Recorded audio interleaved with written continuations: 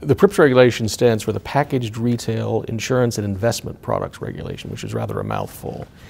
It's a European attempt to try and standardize and harmonize a short pre-sale disclosure document for retail clients investing in a very wide range of insurance products and investment products. It applies to firms that manufacture those products wherever they're located if they're made available to EU retail investors. Um, and it applies to distributors of those products, again, in Europe to uh, EU retail investors. PRIIPs manufacturers need to produce and publish on a website a key information document, which is the standardized document required for, under the PRIIPs regulation, uh, for each PRIIP that they manufacture and make available to EU re retail investors. PRIIPs distributors need to provide the PRIIPs KID, that is the key information document, to EU retail investors in good time before they invest. The structure of this is very similar to the way that um, UCITS directive KIDs are required to be made available to UCITS investors. PRIIPs KID can be no longer than three A4 sides of paper.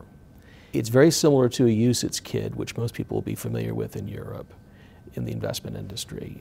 It includes, however, no past performance information. Instead, it includes projected performance in four specific mandated scenarios in the, in the regulation.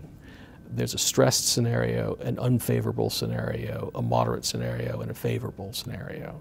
These are put together in accordance with the, the criteria and the regulation. There's very little flexibility in how they're produced.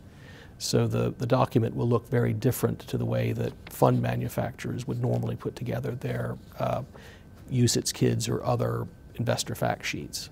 There's also detailed cost disclosure required uh, in a way that goes beyond what a UCITS KID would require. UCITS funds are PRIIPs. They're covered by the regulation. However, they're grandfathered together with uh, non-UCITS funds that are allowed under national law to use a UCITS KID until the end of January 2019. It's important to note, however, that a UCITS manufacturer may need to provide the information required for a PRIIP to a PRIIP uh, that's investing in its own UCITS fund. So they can't necessarily get around the requirements um, of having to compile the data that's required for this merely because they're a UCITS manufacturer.